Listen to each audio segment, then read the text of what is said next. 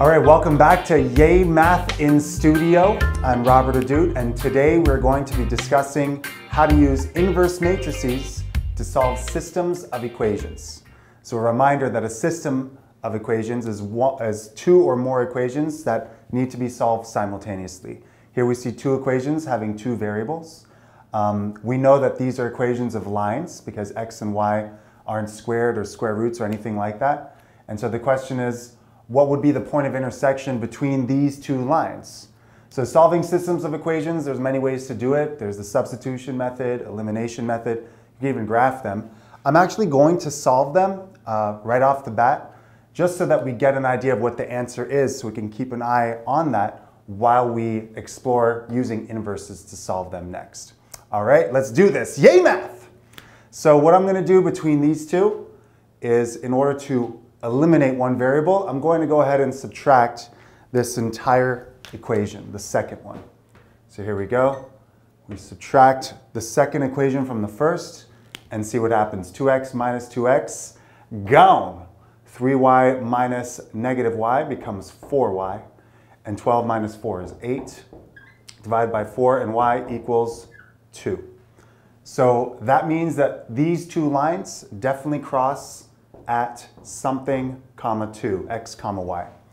And in order to get the something, that x, we could plug y in. So let's say we wanted to plug y into the first equation. Why not? So we can get like 2x plus 3 times 2 equals 12. And then we get 2x plus 6 equals 12. Let's actually switch this marker here so that works.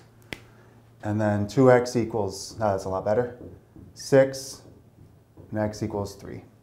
So this definitely crosses at 3, 2, these two lines. Now let's use matrices, specifically inverse matrices, to get us the same solution. In order to do that, we're going to express this system using matrices. So reminder that a matrix is basically a set of data. This is a 2 by 2 chilling inside here. We go 2, 3, 2, negative 1. That represents this 2 by 2. Then you can throw in x, y, and that equals the solution 12, not over 4, of course, 12, 4. Well, it's really glassy. All right. So the goal would be to multiply this by something such that it becomes the identity matrix. A reminder what the identity matrix is. Identity matrix is a bunch of ones and zeros. So you can imagine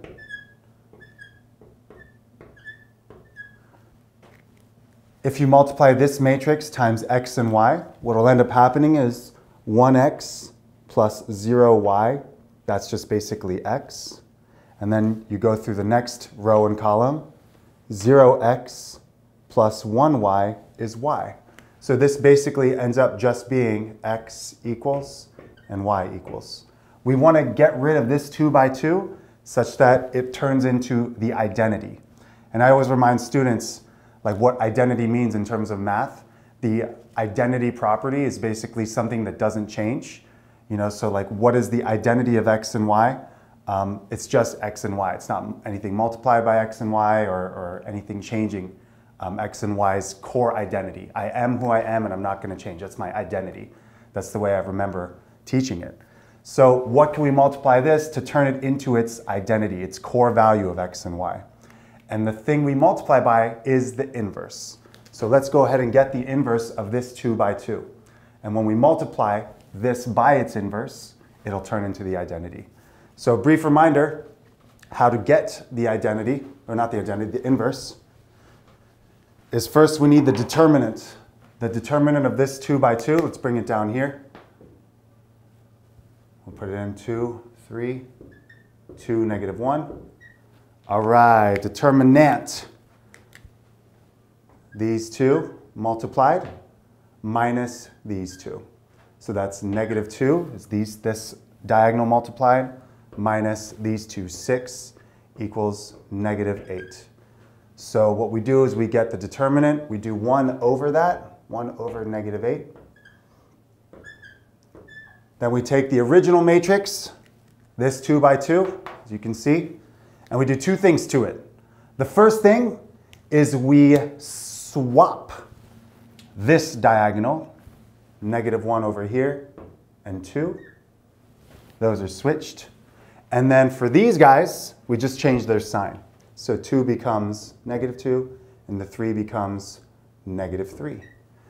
And what you can do is you can distribute this negative 1 eighth inside here, and that becomes the inverse of this 2 by 2. Let's go ahead and do that. Once that 1 eighth is distributed, or negative 1 eighth, I'll put that in red. Yeah. Uh, new markers, fresh and clean. negative 1 eighth times negative 1 is 1 over 8. And then this distributes through. This is 3 eighths. This distributes here. This is 1 fourth. And then this is negative 1 fourth. All right, so this is the inverse of this 2 by 2. So let's write it on the left of this and this. So I'll bring it over. 2, 3, 2, negative 1, x, y equals, we have here 12 and 4.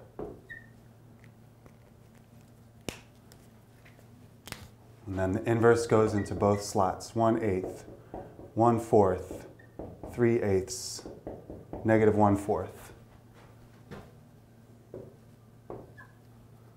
1 eighth, 3 eighths, 1 fourth, negative 1 fourth. Now, what I was going to say is something really important about it. These two can multiply because they're a 2 by 2. You recall from a previous video on multiplying matrices that the dimensions need to line up. And so it's really important that we insert this inverse matrix on the left of both. The books call it multiply on the left by. The reason why is that this guy here, this is a 2 by 2, and this is a 2 by 1. You recall from previous episodes that if these two line up, these two links, rows, columns, rows, columns, that if these two are the same, that we can multiply these. And that's exactly what we want to do. But if we made a mistake and brought it here on the right, we'd have a problem because we would have a 2 by 1 times a 2 by 2. And since these don't line up, rows, columns, rows, columns, we would be unable to multiply these two matrices if this red one was on the right. So we have to be very specific about inserting it on the left both times. Okay, having said that, You'll get used to it. Let's prove that multiplying these two turns this into the identity. All right, it's kind of cool how, what, how it just melts away. Rows times columns. Here we go. 1 eighth times 2, that's 1 fourth, plus 3 eighths times 2 is 6 eighths, 6 eighths, which is 3 fourths. So this is 1 fourth times 3 fourths, none other than 1, just as we said. 1 goes here. And then rows by columns continuing. We're going to go into this column now. 1 eighth times 3 is 3 eighths. 3 eighths times negative 1 is negative 3 eighths. That goes away. That's 0. It's kind of cool. Just melts away. Now we're over here, rows by columns. 1 fourth times 2 is 1 half. Negative 1 fourth times 2 is negative 1 half, 0, gone. And then rows by columns again. We're on this column. 3 fourths plus 1 fourth is 1. So it works. That's, that's proving that this is the matrix. That is the inverse. So we have xy equals. And now the result of this 2 by 2 times a 2 by 1 will be the answers for x and y, which is pretty amazing. So make sure we get this right and we go a little bigger here. All right, here we go. Rows by columns every time. 1 eighth times 12 is 12 over 8, which is 3 over 2, plus, let's write it.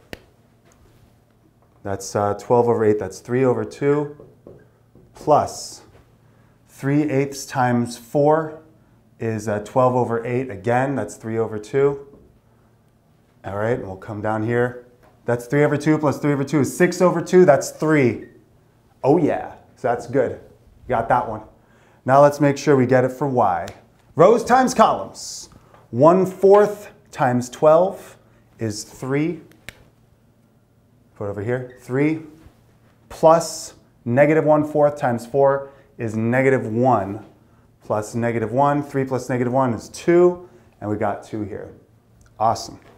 So it works every time. What's really special about this is that you could also use the calculator to calculate your inverse of this 2 by 2. And then all you need to do is multiply this matrix by the inverse, and you'll get your solutions. So x and y equal 3 and 2 respectively. At the end of this video, I'm actually going to show you a brief way to get the inverse on this and use it to solve this system. Thank you so much for watching. This is Robert from yaymath.org and Yay Math in Studio, and we'll see you next time. Later.